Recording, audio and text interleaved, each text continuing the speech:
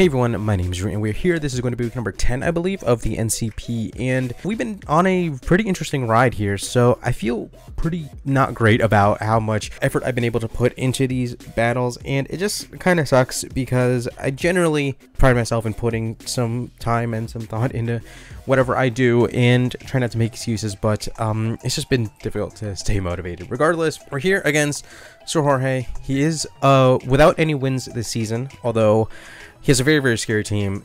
And we do see the Ribombee, the Gyarados, the Avalugg, the Rotom Mow, uh, the Charizard, and the Falinks. Now, right off the bat, seeing no Polteageist was insane to me. I had to do so much to try to mitigate the Polteageist. Um, it's the main reason why the Malamar is here. The Malamar is really especially defensive.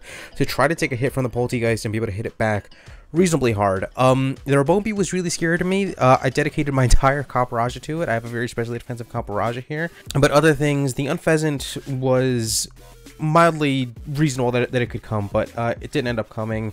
And I believe the only other thing he left behind is, is the Ferroseed and the Type Null. The Type Null was hugely scary, but thankfully is not here. Other than that, everything else is reasonably standard. Uh, I do not feel that great about how much offensive presence I have. Obviously, my entire offensive presence is going to come mainly from the Dragapult and the, and the Raichu, and everything else is kind of meant to kind of deal with certain threats, like the Eldegoss is here to spin and can potentially deal with things like the Gyarados.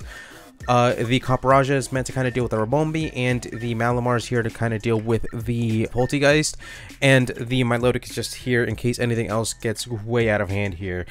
But uh, with that being the team, again, I don't feel the best about it, but this is what I felt had to come, and if my checks can take certain mons out or deal enough damage. I think I have enough offensive presence that it could come out on top in the end, but we're going to get right into the match here.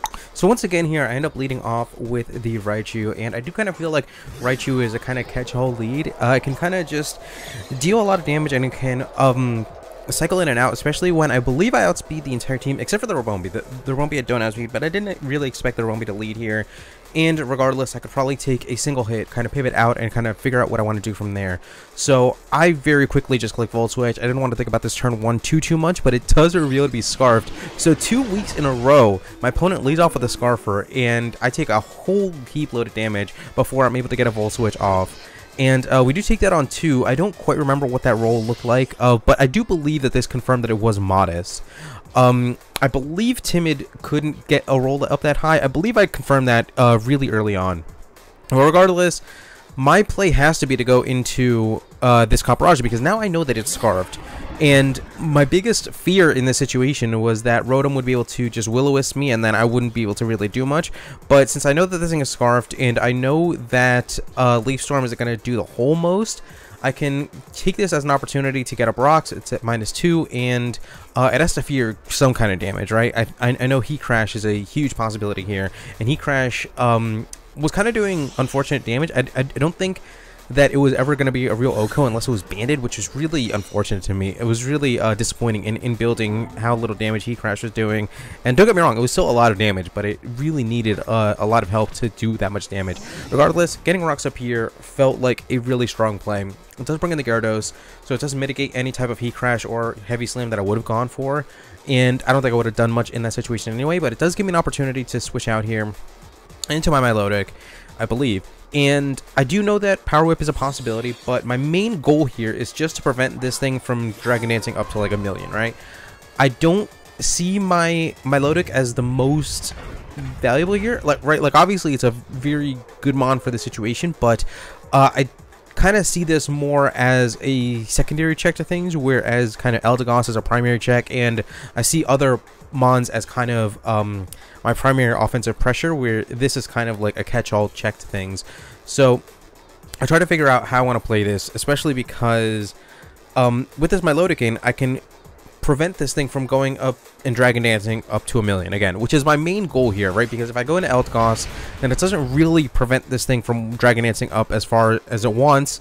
And at the very least, this one can put a stop to it and let me get some footing here. So now from here, I can get the Toxic off. I can at least get some chip damage going on and get a feel for what he wants to do. I was confident that I'd be able to take the Power Whip after the Flame Orb pop, and I did. So now I kind of decide here if I want to play around any type of shenanigans that this thing would want to do. and I kind of expected obviously the power whip because now I'm trying to I'm starting to get a feel for what the moveset would look like, right? So obviously power whip, probably waterfall, probably dragon dance, and some kind of coverage move. Obviously, I have to figure out what that is, and hopefully I don't get burned by whatever it's going to be. But he does go for the Dragon Dance as I go out into the Eldegoss here. Now, I feel like the Eldegoss is in a solid position to deal with whatever he wants to do. I can Cotton Guard up, I can get leftovers, I can Leech Seed, I can kind of wall this thing as much as I need to uh, for the situation. That's kind of why the Eldegoss is here, and obviously it can Rapid Spin. Does go for the Iron Head, which was really unexpected, and but you could see from that damage that um, it was doing really good damage, but it was doing manageable damage, right? I could deal with it. I can Leech Seed up, I can get leftovers, I can get Regenerator, I can uh, do whatever I need to do, and I can essentially Toxic Stall this thing, right? Except I get flinched. Uh, I believe as I went for either the Cotton Guard or the Leech Seed there. Um, Leech Seed would have been a, a, better play if I did click the Cotton Guard, but um, overall it was just a really unfortunate turn. I really wanted uh, to be able to do something better there, and then ultimately uh, he sees how much damage that's doing. He knows how defensive I am. As I go for the Cotton Guard, so he's already keeping a, a step ahead of me, and I have to keep pace. I cannot let this Charizard get out of hand here. Uh, I know it's not a Gmax Zard that can, you know, Airstream up and do whatever it needs to do, but this is still really pretty scary. So I have to figure out what I want to do. Part of me was thinking that I would uh, sack the Eldegoss here, um, and honestly, part of me was also thinking that this thing would want to try to set up something, like set up a Swords Dance or a Dragon Dance or something to that effect. Um, that felt to me like the most likely in the scenario because the, because of the way that he very forcefully brought this thing in. I felt like he wanted to take this opportunity to set up, and if he did want to set up, then I felt like getting a Leech Seed up would be optimal. And unfortunately, if he did just go for Fire Blast, then I'd be sacking off the Eldegoss. But I felt confident enough that I could make this call here as he does go for the flame charge. We take that pretty well.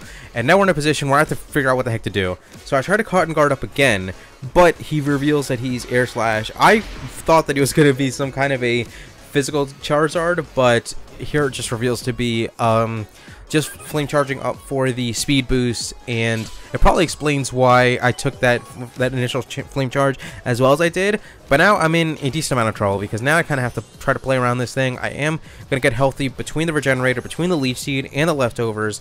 I'm going to get at an okay amount of health but it's never going to look the best.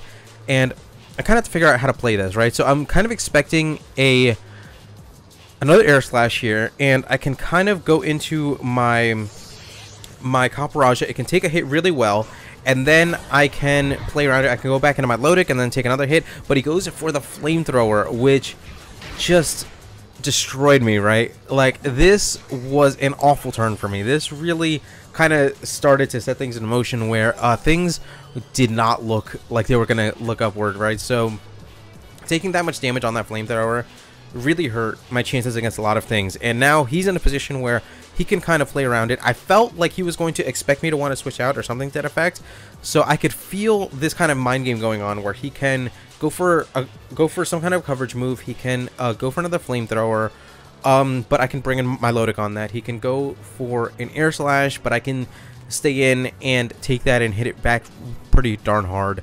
So it put me in a really awkward position of we have to now kind of play mind games against each other to figure out what we want to do. And and, and if he wanted to go for another flamethrower, I could bring in my my Dragapult for free. My Dragapult could be Scarfed for all he knows, right? So um, there were a lot of possibilities for what could happen here. I kind of take a middle ground play. I go into my Lodic, hoping that this thing would want to go for another flamethrower. It does, but again, the thought of this thing going for an air slash into my Milotic terrified me.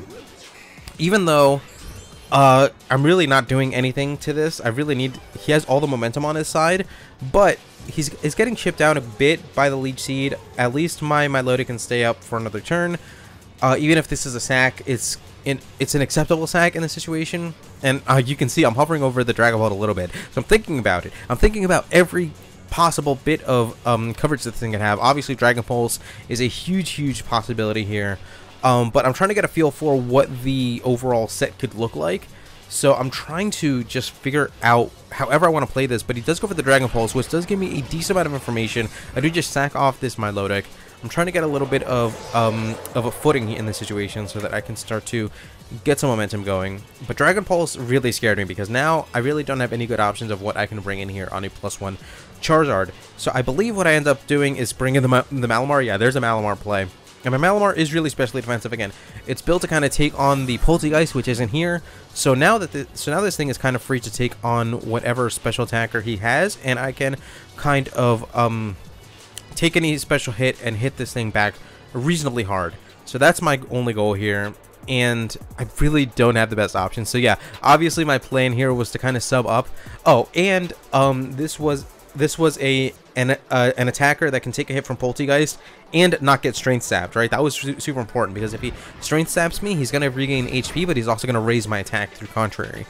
But um, I do take a hit reasonably well. I can just get a Night Slash off. I'm going to get leftovers and that Leech Seed off. So I am doing okay for myself here. And I believe here I start to think about getting a sub up.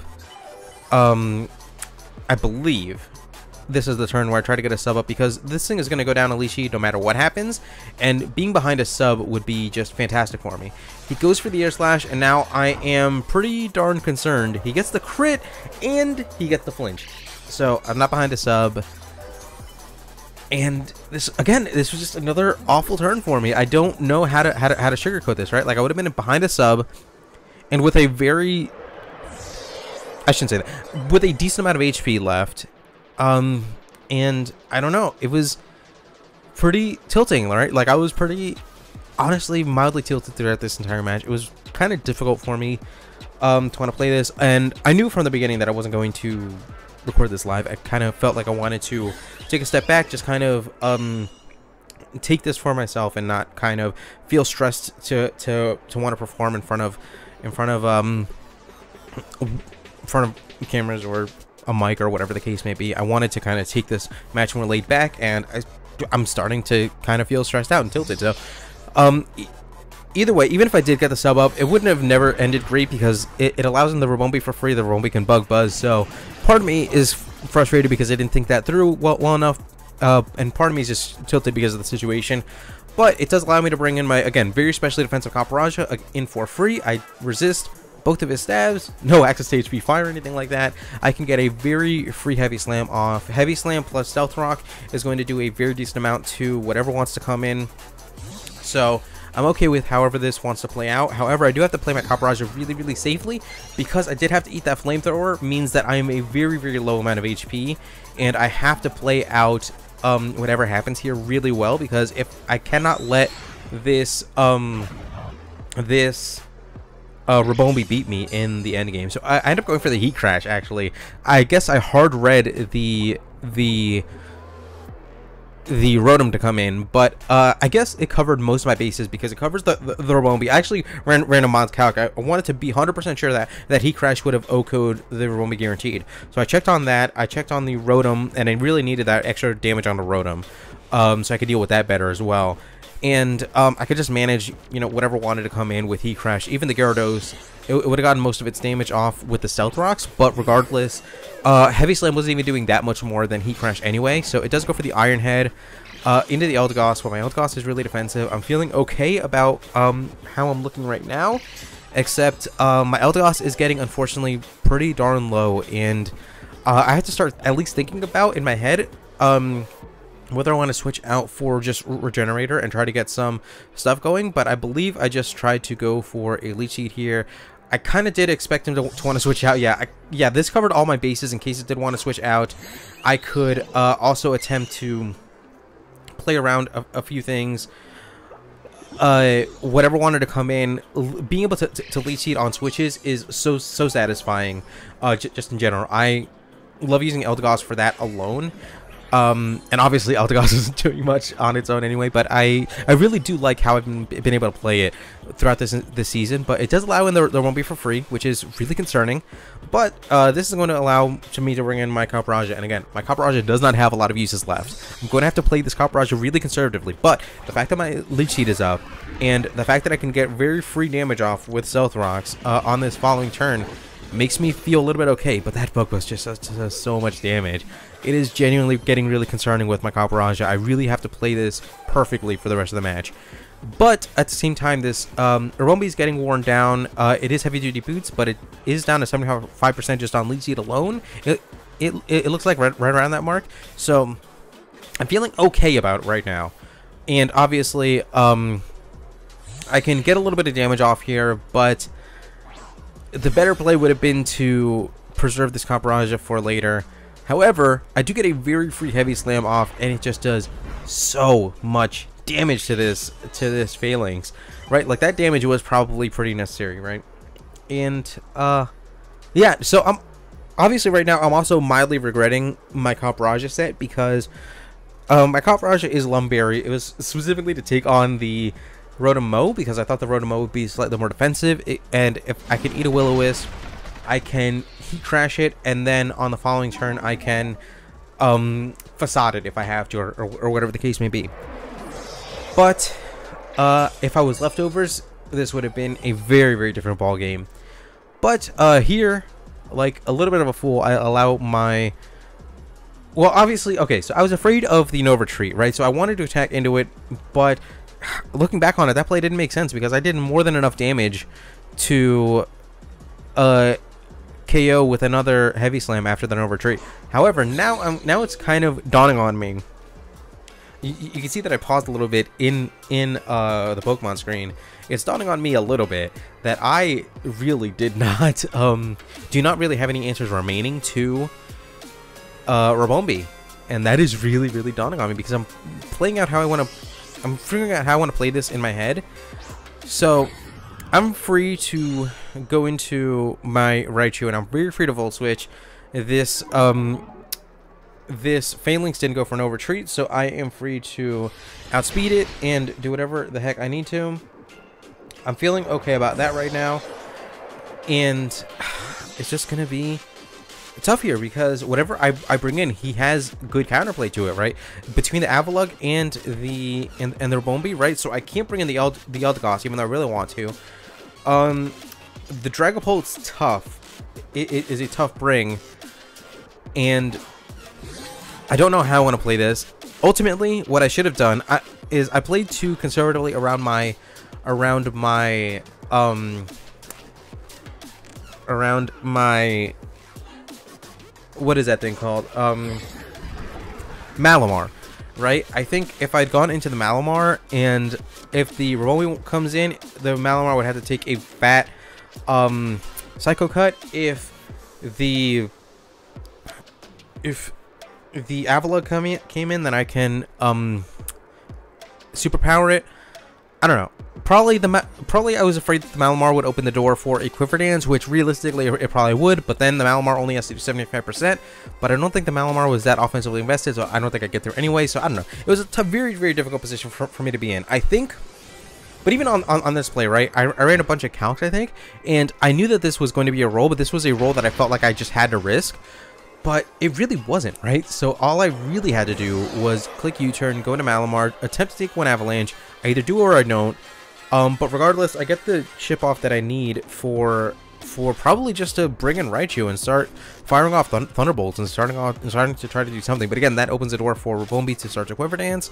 So I probably had the Volt Switch, but I don't know. It, it really depends. Point is, I just act something that isn't Dragapult, right? Dragapult was my win condition.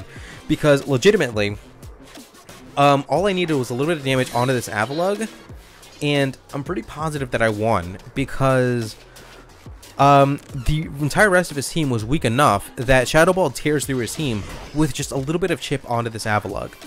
I really had to play this more carefully. I had to be more cognizant of my checks to Ribombee, but at the end of the day, his team was weak enough that Shadow Ball, except for the Avalugg, that Shadow Ball would have cleaned up the team. And as it stands, the fact that I gave up my Dragapult on a pretty silly roll to, to try to risk, it means that I no longer have any answers to, to Ribombee. I Volt Switch into the Eldegoss, and what's going to come out? I mean, it's not too difficult to guess at this point. Um, and yeah, I'm, I'm, I'm just really disappointed in the way that I played this. Um, obviously, his Ribombee is, is in a prime position to get a Quiver Dance up and KO my entire team at this point. Um, I attempt to go for Leech Seed here. Maybe I can, you know, stall this out. Maybe I can make something happen, but I'm really never in a position to realistically do that. Um, he has super effective damage for the rest of for the rest of my team, and just a Moonblast for Raichu. So, yeah, like I said, it, was, it was just really disappointing because I felt like I definitely could have played this match better, and we were talking after this match, and it does feel like I actively threw this match by giving up my Dragapult there. Obviously, again, I had to play this perfectly because this Ribombee was so much of a threat that if I gave it one Quiver Dance, it just beats my team. What I had to do was I had to U-turn out into something to get some chip damage onto the, onto the Avalugg. From there, I potentially, you know, win the match. If I'd U-turned into the Malamar, let's assume or, no, I could have U-turned out into into the Raichu. I could have given up the Raichu. That's fine. I go into Malamar. Malamar gets a superpower off. Um, it, it, probably takes multiple superpowers realistically, but it doesn't really particularly matter that much because the point is, if the Avalugg switches out, then it switches back in at 50%, and my Dragapult deals with it easily.